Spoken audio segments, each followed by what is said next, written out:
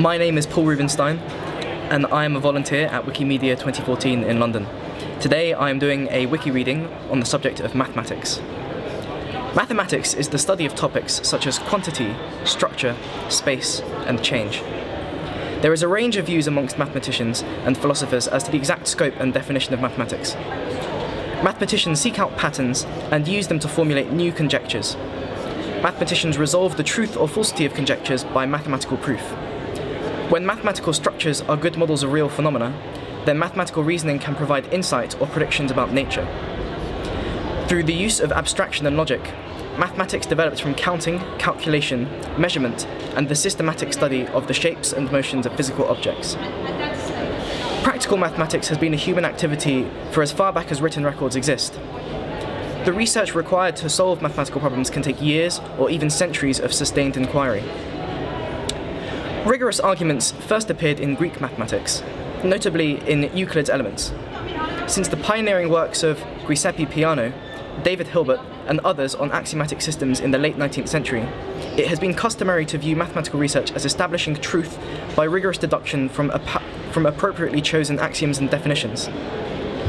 Mathematics has developed at a relatively slow pace until the Renaissance, when mathematical innovations interacting with new scientific discoveries led to a rapid increase in the rate of mathematical discovery that has continued to the present day. Galileo Galilei said, The universe cannot be read until we have learned the language and become familiar with the characters in which it is written.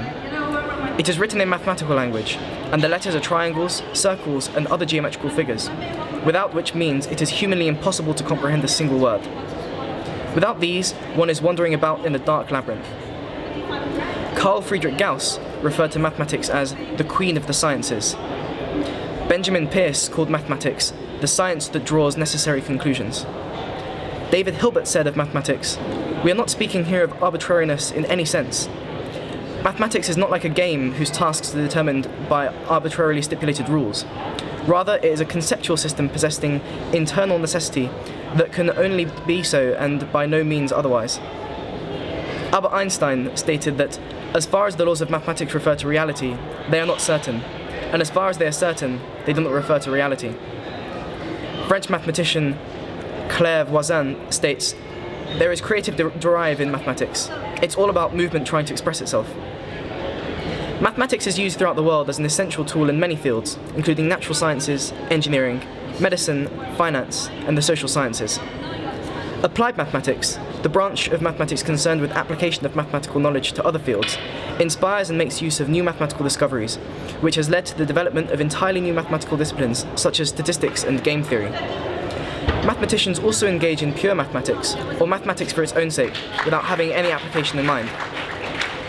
There is no clear line separating pure and applied mathematics, and practical applications for what began as pure mathematics are often discovered.